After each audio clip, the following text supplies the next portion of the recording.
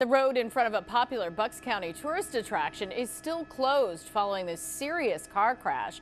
Chopper 6 HD was over Stoney Hill Road outside of Shady Brook Farm in Upper Makefield Township.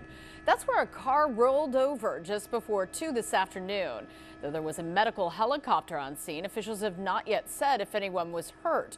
Police say the road will be closed for some time as they investigate.